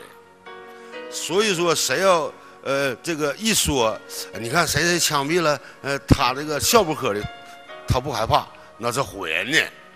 你瞅他这个笑，仔细瞅，比哭都难看，哦，大脑一片空白。那么当时，如果我被喊出去了，喊的不是赵三是我，那么说，我就不会今天在这里跟诸位老师在谈传统文化，在谈《弟子规》。那么留我今天，可能就是跟诸位老师啊有这个缘分，要谈一谈《弟子规》，谈谈传统文化。啊，那么说为什么没没有被喊出去？我让我的弟弟来说清楚一些。那个，因为当初啊，呃，我二哥在里边我们在外边呃，给他做的一些这个事情啊，帮他做的一些事情，他不知道。我在这里在这里给你补充。呃，大家知道，嗯，每个人家庭啊，这个兄弟之间，父母在，兄弟之间都这个遇到这种情况。都会极力的想挽救他的生命，虽然他犯了重罪，呃，把人杀了，但是我们也希望挽救他的一个生命。呃，我们做了很多工作，打官司告状，哎，后来呢，有一天呢，我到一个地方办事突然看到墙上贴着一个布告，上面写着“定于定于某年某月某日公开这召开公开宣判大会”，第一个就是我二哥的名，还有三个名。我说这不完了吗？证明我们以往的努力全白费了，人要死了。因为呢，我知道啊，一审判决已经完事儿，第二审如果再开公判会就要枪毙了。哎，当时我二哥才三十三十三十一岁，哎，虚岁，所以说马上啊，我就把这个事儿，我我就回到家里，把这些消息告诉妈妈，还有哥，还有二嫂。当时他们都很震惊，也很悲痛。完了，白做努力了。这这个在看守所压了一年多，白种人最后要枪毙了，哎，这个怎么办呢？我后来我们因为知道啊，当时我二哥在这个出事的之前呢，被那个人攮了一攮了两刀，造成了重伤。后来伤害鉴定说重伤。当时呢，这个是最高人民法院的这个有的规定，就是凡是对方有过错的，可能啊，呃，就不会被。执行死刑，哎，不会不会枪毙的，哎，也可能被判缓，也就可能留一命啊。但是我们因为那时候的死刑死刑核准权呢，不是在最高人民法院，在省一级法院，哎，在省一级法院呢，所以说我们没有办法，就得把这个事儿告到最高人民法院。当时我们就这个知道这消息之后，把这一情况啊。给中高中级人民法院嘛写个这个材料送到去，送去之后，中级法院院长就说，呃，就给回回信告诉说，可以不给执行立即死刑，呃，可以暂缓，但是不是不执行，随随地都可以执行。而且我们当时呢，没有得到正确的文那个文件，哎，文书，只是口头也不相信，所以说头天晚上仍然把他的遗寿衣呀，还有遗书啊。都给他送去了，哎，第二，而且第二天呢，这个我们仍然要按既定方第既定的方案去。呃，我大哥当时呢，听到了我二哥要枪毙，他当第二天呢，就让他的朋友用车给他拉到一个山沟里，哎，这个喝了很多酒，站在山坡上。据他后来讲啊，说当时他站在山坡上说：“完了，完了，完了，这个我弟弟就这样被枪毙了，装进了小盒里。”他非常的悲痛、难受。另外，我二嫂呢，因为我们就是呃就不太相信嘛，怕有意外嘛，呃，所以说仍然到了这个公开宣判的现场。这时候呢，我们到那之后呢，看到呃有陆续的来了三名警呃三名那个三辆警车，每个警车里拉着一个呃被枪毙的死刑犯。第一、第二、第三。第三个也没有我二哥，我二嫂啊，当时就急了，完了，一定是在看守所里边就被执行死刑了，全枪毙了。当时啊，就想着没寻思能活，很震惊。后。来到那现场一看没有，我们就回来了。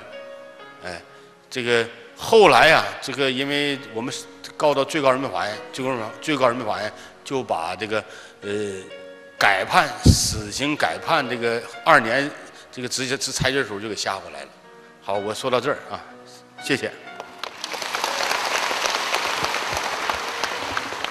没过多久呢，就接到了一个改判的判决，啊，这个呃改了那个从死刑改成缓期两年执行，啊，死罪免了，活罪免不了，这个被送到了监狱，开始了我的漫长劳改生涯。啊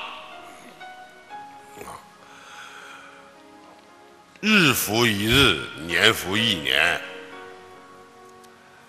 在监狱里面服刑。监狱里面是什么感觉？犯人是什么生活？我用一个字，我们中国的汉字都是智慧，智慧的符号。一个人四周加上一块。就念“囚”字，囚犯的“囚”，这个“囚”就代表了犯人服刑的全部生活。如果犯人在监狱里面生活的很幸福，那就不是监狱，那是养，那是福福利院、养老院，啊，体现不了法律的威严性和惩罚性。这样，我度过了十六个春秋。当我离开监狱的时候，我的头发已经变变成白色的了。我进去的时候是二十多岁，回到我的家，我的家已经从平房变成楼房了。我已经找不到我的家在哪里了。我周围的兄弟已经死的死，进去的进去，淘汰的淘汰。我们兄弟五人，我的两个亲弟弟已经不在人世了，真是大势已去，已经是今非昔比了。那么面对。现实生活当中，对我来说，第一个就是要生活，要生存，啊，因为我虽然是在生死关头过来的，珍惜生命，虽然是坐了这么多年的牢，但是并没有得到根本的改变，啊，就是说我为什么去坐牢，我要怎么以后怎么生活，这个根儿我不懂。啊，我知道的就是说能不进去就好，但是生活方式这个呃这种本质没有改变我，我仍然是贪图享受，遭了这么多年的罪，释放了我肯定要享受一下呀，是吧？啊，那么说，同时我也感觉到，如果我要是呃不像以前似的那样的生活，我是一种呃耻辱，我磕碜，我丢人，啊。我还要像以前似的那样的啊，开心的活着。可是我靠什么呢？我已已经不是以前的我了，老了。朋友，什么叫朋友啊？谁能帮称为上朋友？这个黑社会里面的人还能讲为朋友吗？还能做出来真正朋友的事吗？我上墓地看一看，我已经离开人世的两个亲弟弟，我的四弟和五弟，看到他们的遗像，我四弟千辛万苦给我救活了，可是他离开了人世，他死了，我的五弟。我想他们，假如有来生，弟弟，我也像救你一样，救我一样，我救你一次。假如有来生，我们还是一奶同胞。假如有来生，我愿意把弟弟给我的付出，我全部还给弟弟。假如有来生，我一定让我两个弟弟结完了婚，成完了家，再离开人世。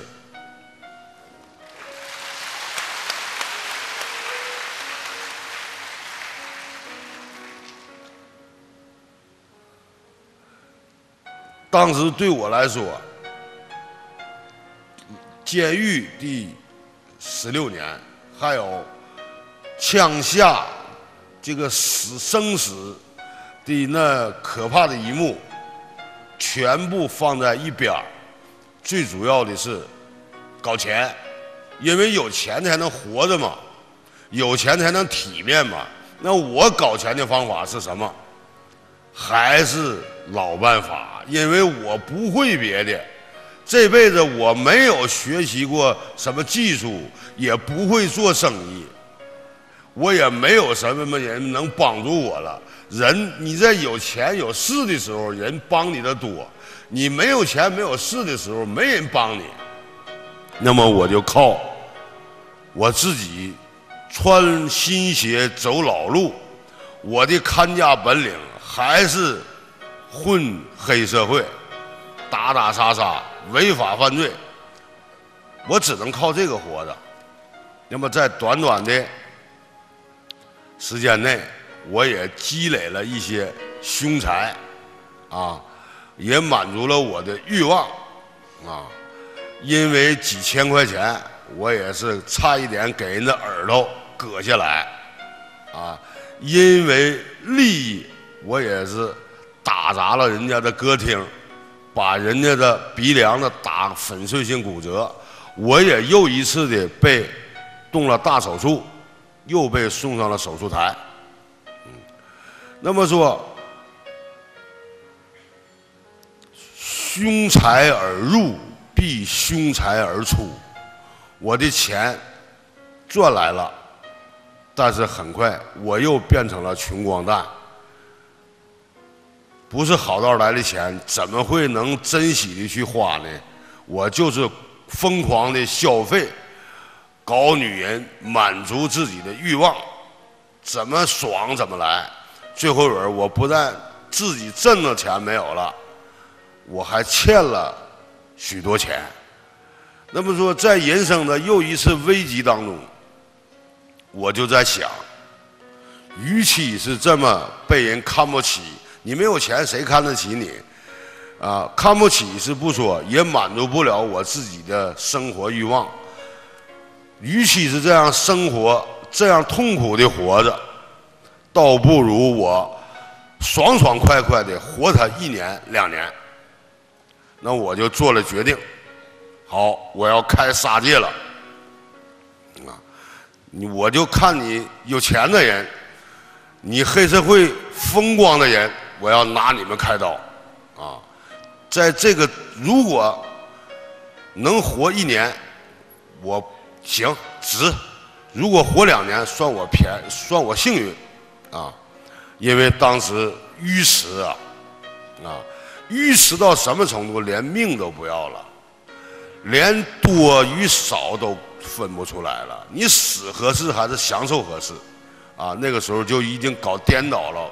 浴浴池嘛，啊，那么说就在这个时候，我遇到了我曾经的一个兄弟，他在南方，在深圳，啊，一个非常成功，他搞得很好，啊，我看到了他，我就向他求援，啊，因为你搞什么，你都得有本钱呐，是吧？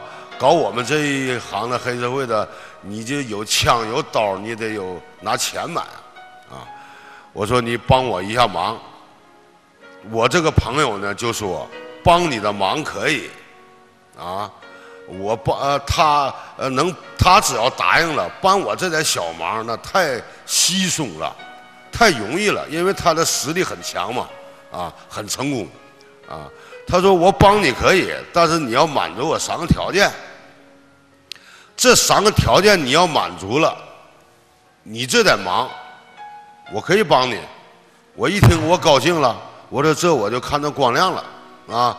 我要做起来事情动杀戒啊，我就好办了啊！我说你说吧啊！他说的你第一件事情，第一个条件，说你要孝敬你的妈妈，在你的妈妈身边生活啊，你要尽孝啊，因为呃，因为他呢是我。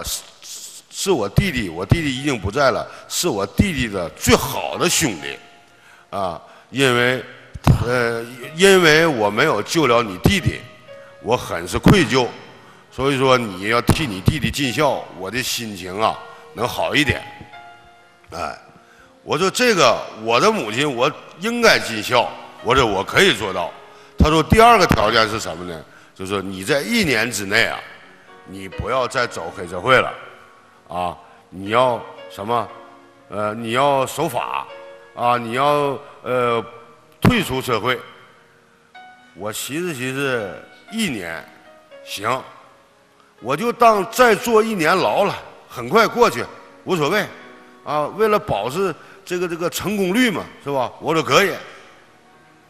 他说第三个条件呢，就是说抚顺辽宁省抚顺市零九年的九月份。就有这样的像今天这样的传统文化的论坛，你要去就两天，你去参加两天。我当时寻思，就在那坐两天呗，只要你能帮我，别说坐两天，我出点血，胳膊折了，腿折了，我都干。我说我去，啊，我就去了。因为当时我去呢，是为了啊。满足他三个条件，满足他条件呢，他就能帮我了。我是这个目的去的，哎，我不是为了学传统文化，因为传统文化，我弟弟和我妈妈，呃，很多年就学，但是那个跟我我不感兴趣，我只是对钱和女人和打打杀杀，我对这个感兴趣，哎。那么他这个我就去了，去了，在听到胡斌老师分享的时候。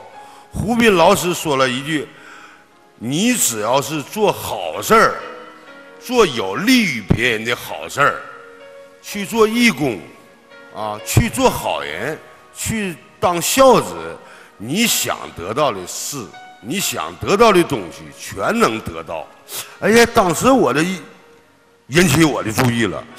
我说：“我们想得到的东西。”如果要像他似的做好事当好人能得到不？我想也能得到，因为他一个孩子二十多岁他原来也不是个好人啊，只不过是跟我差的，他是儿子辈我是我是爸爸辈但是性质都是一样的，是吧？哎，他能做到的，小孩能做到，我大人不也能做到吗？如果要按他这个逻辑说法，啊，这个，呃，就是说。那我就不用去动杀戒了，我不用动杀戒了，那我就呃不用去死呃死了自找死路了啊，就是说活三两年我就死了，我就不用了，我就逃出一劫了，我也不用去坐牢了。哎，这个路多好啊！有这个路我也走啊，对不？哎，有饭吃谁去挨饿呀？对不对？哎，有面包吃，非得当流浪汉呢？是吧？哎，我说我也这么做。哎，当时我就决定，我不去啊，这个开杀戒了，也不去这个走社会了。我走做好人、做好事的道。哎，我就做了这个决定。做了这个决定之后呢，有幸呢被大会老师啊，陈大会老师啊，这个呃呃吸收在这个团队里面。哎呀，我感觉到。啊，原来这是人的生活啊！人是这么一个活法。我这辈子我没过过这种生活。这些周围的人都那么慈悲，那么善良，他们帮助你，他们不求回报，他们能把你变成了一个孝子，变成了一个有德行的人，他们很欢喜。走社会，走黑社会，哪有这样的？他给你一包烟，给你点钱，你得付出代价。呃，这些人不，这些人就是你做好事他就很欢喜。哎呀，我是这样人好，啊，同时我这个跟这个团队我也知道是非了，也知道什么是真正的好，什么是真正的不好，满足自己的欲望。假如说你抽一颗烟，你感到挺爽，那么你抽一百颗烟，你肯定很痛苦。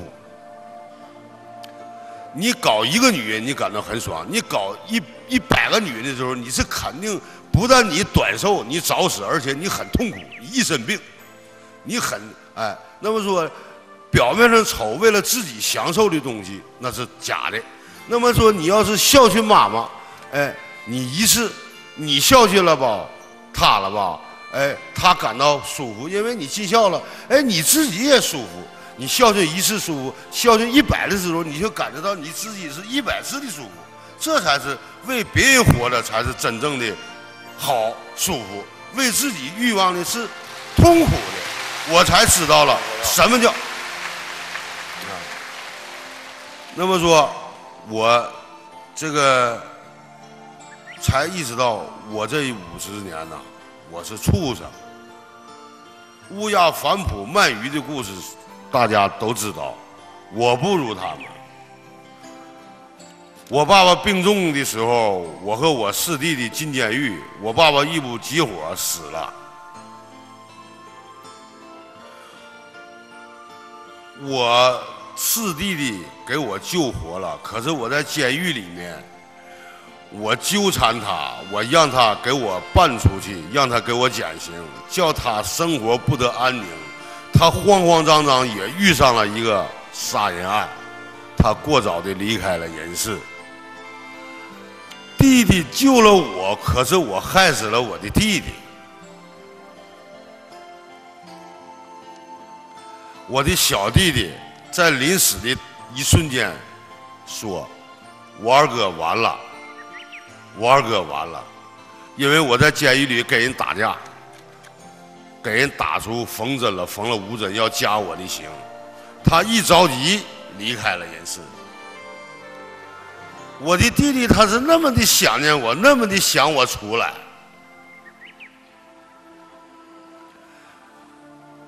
不爱其亲而爱他人，谓之悖德。你自己的爸爸害死了，我让我的妈妈早年、中年丧夫。晚年丧子，我要我妈妈痛苦了半生。我这么的害我妈妈，我跟别人去讲哥们义气，那不是假的吗？禽兽不如，我当什么大哥？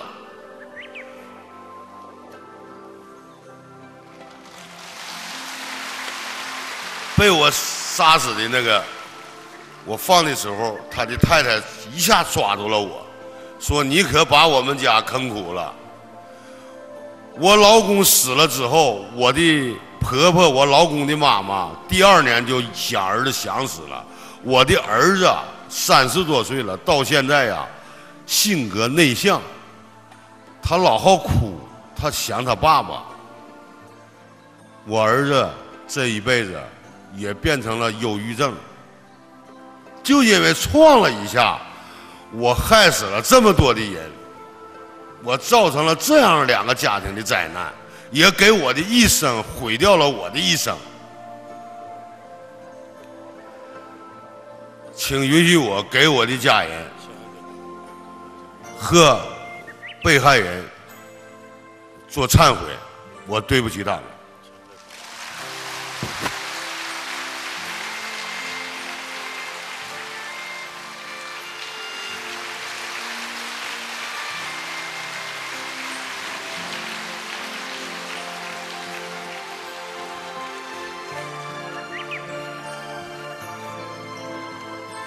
五情五行之书三千，而不孝，而罪莫大于不孝。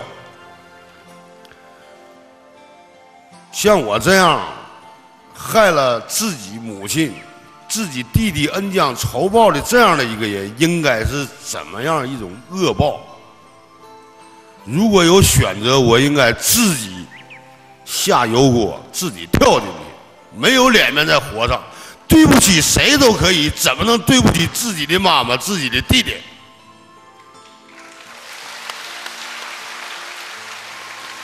还够爷们吗？还是男子汉吗？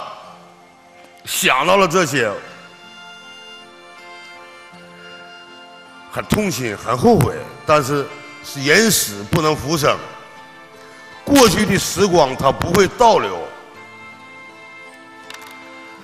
唯有啊，用我有生之年来弥补我的过去，弥补我对我的妈妈、对我的家人所欠下的、犯下的罪过。那么说，这个在母亲身边呢，不但是当儿子的一种义务，同时也是一种福分。开始的时候，我寻思在老太太身边呃待着。啊，就认了吧。哎，我突然间感觉到这是幸福啊！这种天伦之乐，它比上歌厅、上桑拿浴好的多呀。孝敬老人不但是一种责任，也是一种幸福啊。所以说，呃。身体发肤受之于父母，不敢损伤孝之始也。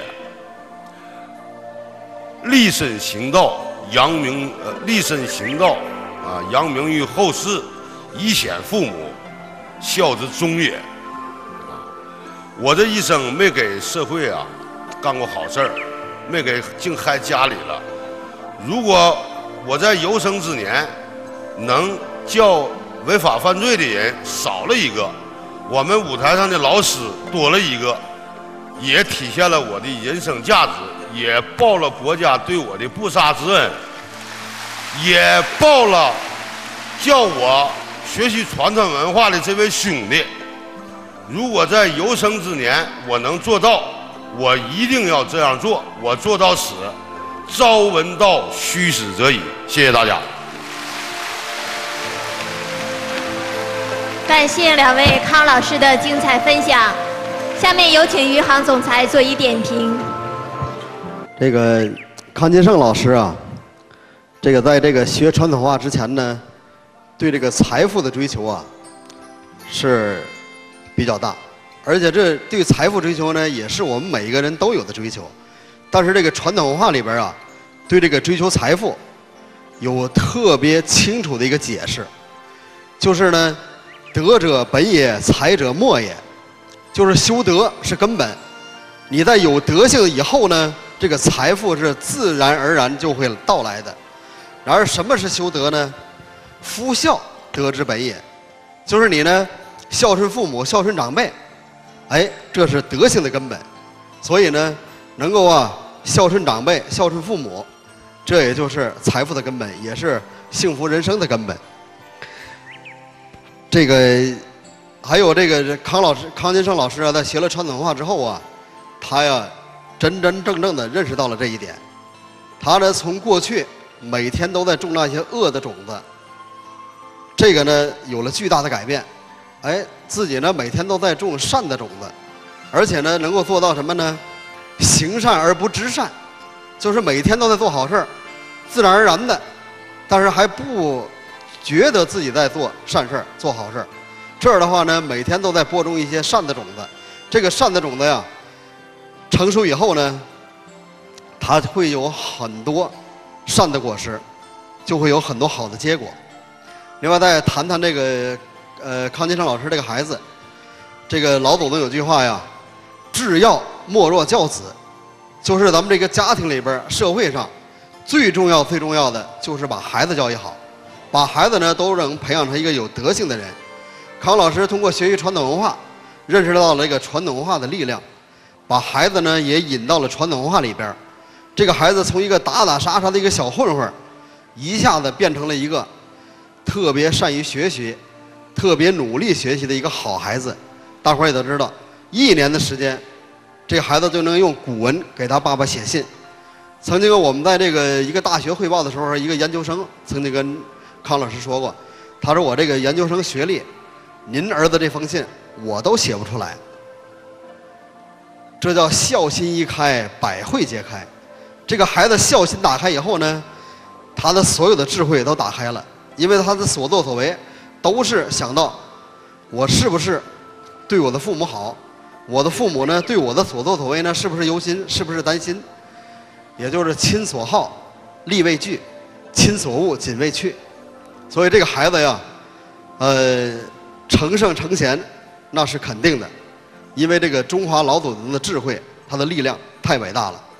这个康金丽老师啊，可以用一句话说一下，就是呢，《了凡四训》里边的一句话，就是“千年幽谷，一灯才照，则千年黑暗俱除”。什么意思呢？就是一个特别黑的一个山洞，已经有一千年没有照到太阳，没有光亮了。哎，就是一个火把进去以后呢，这个一千年的黑暗。完全都没有了，这也就是咱们传统文化的力量，也就是啊，传统文化呢，实际呢就是人性的教育。这个康金丽老师呢，也就是从小到大没有接受过传统文化道德的教育，他那个心呢，就像这个油灯泡一样，糊得满满的，已经糊死了，但是并没有糊了这么多油烟子，而他那颗本善的心失去，所以呢，通过学习传统文化，把这个油。纸擦掉以后呢，咱们康老师啊，这个新的这个本善的心呢，他又显现了出来。现在呢，能够从过去危害社会的一个涉黑犯罪人员，一个黑社会的一个老大，然而现在变成一个呢，能够立身行道，为大家宣讲传统文化，为大家呢解忧排难的这么一个好的老师，也就是我们这个《孝经》里边说的那句话：立身行道。扬名于后世，以显父母，孝之终也。他这是大孝。好，谢谢各位。感谢余杭总裁的精彩点评。那么，在今天下午大讲堂的开始之前呢，我手里有一封信。这封信呢是样板戏智取威虎山的歌词。那么在这里呀，我们也把这个歌词啊和我们传统文化联系在了一起。在这里呢，要为在座的各位老师读一下。歌词是这样写的：早也盼，晚也盼，盼穿望双眼，怎知道今日里打土匪进深山。那么这个打土匪进深山呢，我们就预示着，嗯，这个土匪就是我们自身的烦恼习气，还有坏的习惯。进深山呢，就是走进了我们内心深处这个善良的人性，救穷人脱苦难。这个穷人呐，我们说现在的人呐，虽然是有钱，但是我们在思想上和精神上呢，是一个穷人。自己的队伍来到了面前，这个自己的队伍啊，就是我们弘扬传统文化的老师们。接下来的歌词是这样写的：亲人呐，我不该青红不分，皂白不变；我不该将亲人当仇敌，羞愧难言。这个亲人呐，就预示着我们这些老师啊，还有父母啊，还有一些善人。那么这个。样板戏智取威虎山呢，也有我们传统文化汇报团的一位老师啊，想在这里为大家演唱。他呢，就是上午为我们大家做分享汇报的康金丽老师。好，让我们掌声有请。那么我接接下来呢，还要把这段歌词继续的。